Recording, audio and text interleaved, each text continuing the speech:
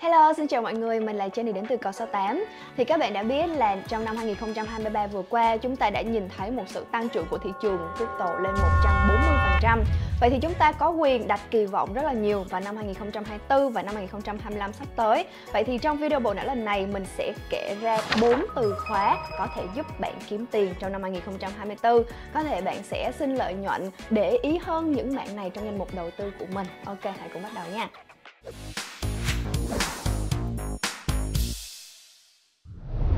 Từ khóa đầu tiên đó là airdrop. Người ta vẫn thường hay nói vui với nhau là airdrop là vua của mọi nghề. Mình thấy quan điểm này đúng và lại càng đúng hơn khi gần đây xu hướng airdrop nổi lên và có rất là nhiều những dự án họ airdrop token cho người dùng. À, thực ra trong thị trường crypto có rất là nhiều những ngành nghề khác nhau như là BD, marketing, research, uh, media, PR, content vân vân. Và trong đó thì săn airdrop cũng được xem như là một nghề. Họ có cả một đội ngũ chuyên nghiệp để săn airdrop từ những dự án mà sắp ra mắt token. Mình sẽ giải thích kỹ hơn nha. Ví dụ đơn giản bạn mở một nhà hàng chẳng hạn Vì nhà hàng mới mở cho nên là chưa có nhiều tiếng tăm Cho nên thì bạn nói với quản lý là à, tuy nhà hàng mới mở chưa có nhiều tiếng tăm Ờ, chưa có nhiều khách đến ăn nhưng mà tôi rất là tự tin về chất lượng dịch vụ về uh, chất lượng món ăn cũng như là thái độ nhân viên và chất lượng dịch vụ của nhà hàng. Do đó thì tôi quyết định đó là sẽ bỏ ra một khoản một 100 triệu. Ok 100 triệu các bạn nhớ con số này nha. Và bất kỳ ai bất kỳ khách nào tới ăn trong nhà hàng của tôi trong vòng 2 tháng đầu họ sẽ để lại thông tin họ sẽ có thể ờ, feedback góp ý về chất lượng món ăn chất lượng thái độ của nhân viên phục vụ nhà hàng sẽ mất điểm nào cần cải thiện feedback hay là không thì tôi sẽ ghi nhận hết lại. Và tới tháng thứ ba thứ tư sau khi mà nhà hàng đã gọi là khai trương ổn ổn rồi đi vào hoạt động ổn ổn rồi thì tôi sẽ lấy cái cục 100 triệu vừa rồi tôi sẽ thưởng lại cho những người đã ủng hộ để tới ăn nhà hàng trong vòng 2 tháng đầu tiên. Tại vì họ sẽ là những người đến sớm những người góp ý uh, cho nhà hàng và ủng hộ nhà hàng ngay từ những giai đoạn đầu tiên và ai quay lại nhà hàng càng nhiều tới anh ủng hộ càng nhiều trong giai đoạn đầu thì cái pool 100 triệu sẽ được chia thưởng cho những người đó càng nhiều. Điều này có nghĩa là sao? Điều này có nghĩa là nếu như trong trường hợp là bạn bạn biết trước cái thông tin này, bạn biết trước là à cái nhà hàng này um, họ sẽ thưởng cho những người tới anh sớm đó thì chắc chắn là bạn và bạn bè của bạn sẽ kéo tới anh uh, đông đúng không? Là ngày nào cũng tới anh ngày nào cũng tới ủng hộ góp ý các thứ. Vì vậy sau đó thì những nhà hàng trong khu vực họ thấy cái chiến lược này hay quá, cái chiến lược này thu hút được khách thời gian đầu nhiều quá, họ bắt trước theo chiến lược này và nhiệm vụ của các bạn đó là sẽ phải uh, nghe ngóng thông tin sẽ phải đánh hơi xem đó là những nhà hàng nào sẽ có cái chiến lược tiếp theo như thế để gọi là airdrop cho khách hàng, airdrop tiền thưởng cho khách hàng. Đó chính là công việc của những thợ săn airdrop hay còn gọi là airdrop hunters. Những thợ săn airdrop, airdrop hunters này họ sẽ đánh hơi và tìm tòi và research xem những dự án nào có khả năng airdrop token cho người dùng trong thời gian tới. Và khi mà họ đã tìm được thông tin rồi thì họ sẽ deposit tiền vào, contribute công sức của mình vào để gọi là uh, đóng góp cho những dự án đó trong giai đoạn đầu. Đó thì uh, làm sao đúng không? Làm sao để chúng ta biết được là trong hàng ngàn hàng vạn dự án trong thị trường crypto những dự án nào mà có khả năng airdrop trong thời gian tới? Các bạn có thể dựa vào một số tiêu chí như là những dự án mà raise uh, ờ, gọi vốn khủng nè có backer uh, có những người uh, gọi là nhà đầu tư á, đến từ top tier những nhà, nhà đầu tư xịn uh, dự án chưa ra mắt token và dự án có sản phẩm tốt nằm trong mạng tiềm năng vân vân. Vậy thì một tin vui đó là mình đã làm việc đó cho các bạn rồi à, lát nữa mình sẽ show trên màn hình cho các bạn những dự án mà có khả năng airdrop token trong thời gian tới để nếu như mà có thời gian thì các bạn có thể săn airdrop của những dự án này nha mình sẽ lấy một ví dụ cụ thể cho các bạn dễ hình dung đó là airdrop của Arbitrum. Khi bạn làm những tương tác sau trên mạng lưới Arbitrum thì sẽ được tính điểm. À, ví dụ như là bạn dùng bridge là dùng cầu nối chuyển tiền qua Arbitrum One, có thực hiện giao dịch trong 2 tháng riêng biệt hoặc là có ít nhất 4 giao dịch à, hoặc là tương tác với ít nhất 4 smart contract. Tổng khối lượng giao dịch đạt trên 10.000 đô hoặc là deposit ít nhất 10.000 đô vào pool thanh khoản trên Arbitrum.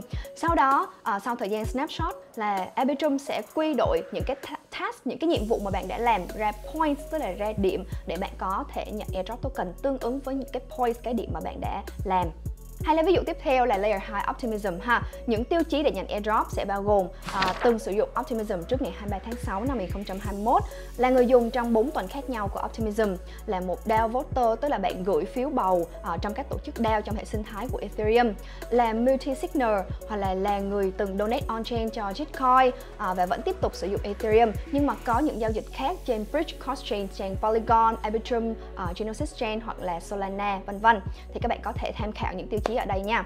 Và mỗi dự án thì tất nhiên sẽ có những tiêu chí error khác nhau không dự án nào giống dự án nào hết. Và các bạn sẽ không bao giờ đoán được nha cái này chắc chắn là một trăm phần trăm là không bao giờ đoán được cũng như là không có thông tin leak từ trước đâu. Tuy nhiên thì mình có thể tham khảo bằng cách là lấy xem những cái tiêu chí mà của những dự án đã airdrop rồi mình thực hiện nhiệm vụ tương tự cho những dự án có khả năng ra mắt token. À, ví dụ như các bạn thấy xoay quanh những việc rất là đơn giản thôi như là họ sẽ tính khối lượng volume nè à, số lượng transaction nè phí phí bạn trả là bao nhiêu nè à, volume bridge cầu nối số lượng số dư trong ví. À, rồi các bạn có gian lận hay không có làm nhiều ví cùng một lúc hay không. À, check CPU nè thời gian sử dụng của ví à, là tuổi thọ của ví đó. À, hold, có hold NFT hay không nếu dự án có NFT hay là staking góp pool thanh khoản vân vân. Rất là nhiều những tiêu chí khác nhau. À, và sau đây à, như mình đã hứa mình sẽ show trên màn hình cho các bạn danh sách những dự án mà có khả năng airdrop trong thời gian tới nha từ khóa số 2 đó chính là LSD file hay là LSD file đó. À, như các bạn đã biết thì trước đây khi mà chúng ta stake token à, vào trong một giao thức thì cái lượng token đó sẽ bị khóa, mất khả năng thanh khoản di chuyển trao đổi, à, coi như là không làm được gì hết. Ví dụ như là bạn stake uh, Ethereum đi thì cái khối lượng Ethereum đó nó sẽ bị khóa lại trong giao thức và các bạn không thể dùng cái Ethereum đó để làm gì khác được, chỉ có khi unstake mà thôi. Sau đó đến đầu năm 2023, do hiệu ứng của bạn cập nhật ở Ethereum Shanghai có tên là Chapella, thì hiệu ứng này cho phép là người dùng có thể stake hoặc là unstake một cách linh hoạt, từ đó nó tạo ra và kéo theo một trend tên là LSDFi. LSDFi là viết tắt của Liquid Staking Derivatives Finance, hay nói cách khác, dịch ra tiếng Việt là những giao thức DeFi được xây dựng và hoạt động dựa trên nền tảng Liquid Staking. Khi stake token vào các giao thức LSD thì các bạn sẽ được giao thức cho một cái token đại diện theo tỷ lệ 11 với số lượng token mà các bạn đã đem đi stake.